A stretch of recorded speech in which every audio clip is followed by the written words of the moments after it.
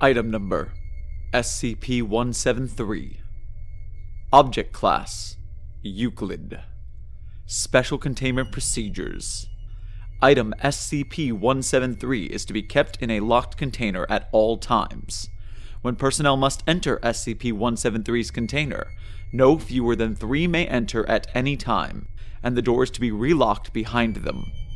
At all times, two persons must maintain direct eye contact with SCP 173 until all personnel have vacated and relocked the container. Description Moved to Site 19, 1993. Origin is as of yet unknown. It is constructed from concrete and rebar with traces of Krylon brand spray paint. SCP 173 is animate and extremely hostile. The object cannot move while within a direct line of sight.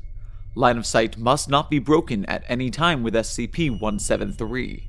Personnel assigned to enter container are instructed to alert one another before blinking.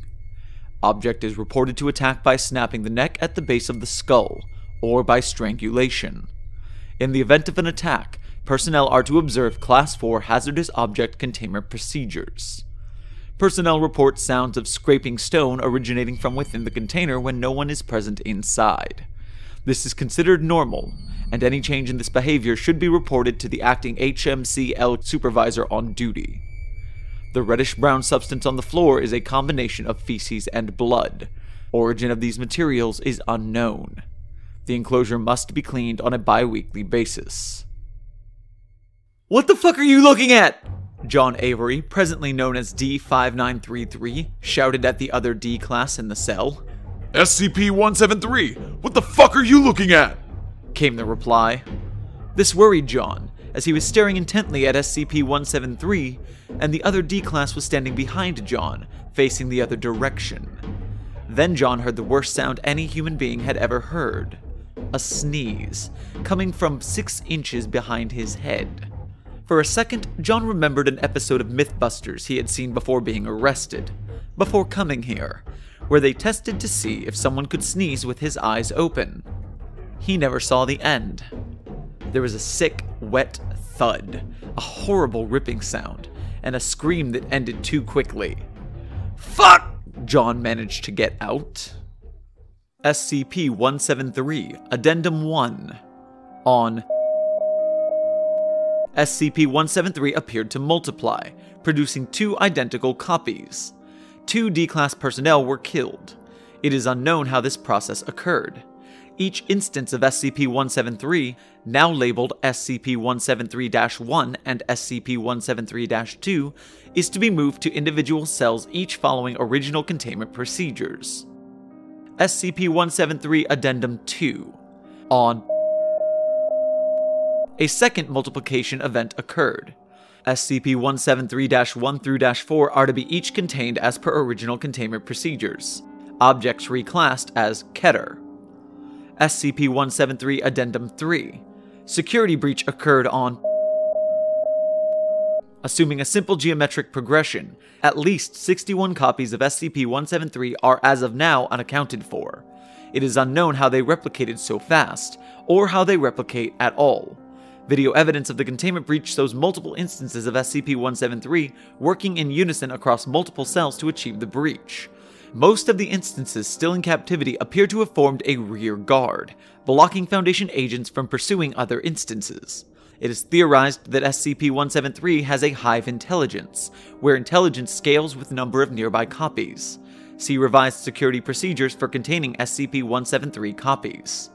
Revised Special Containment Procedures all copies of SCP-173 are to be contained in form-fitting metal containers and sent using SCP to the now abandoned Foundation facility on the Moon. They are to be fitted with tracking collars that will detect if any of them leave the Moon.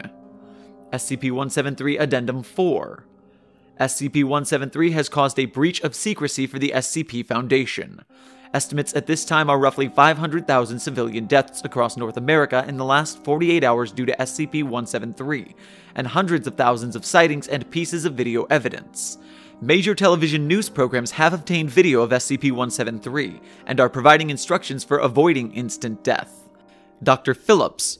Correction. Matthews. correction, clef, correction, gears, correction, Kondraki, correction, bright, is in charge of the containment. SCP 173 Addendum 5. SCP 173 has besieged and destroyed four Foundation facilities near simultaneously in the last 24 hours. Each instance shows the characteristic strength exhibited in the original, and thousands working in unison are capable of ripping open concrete bunkers and compromising foot thick steel doors. Research is ongoing to find a way to combat this threat. Personal log of Dr. Bright. Date I've been killed 37 times in the last week. They can smell me somehow, regardless of what body I'm in. The majority decision of the remaining O5s is that this is an XK, and they're going to deal with the problem, or the Russians are.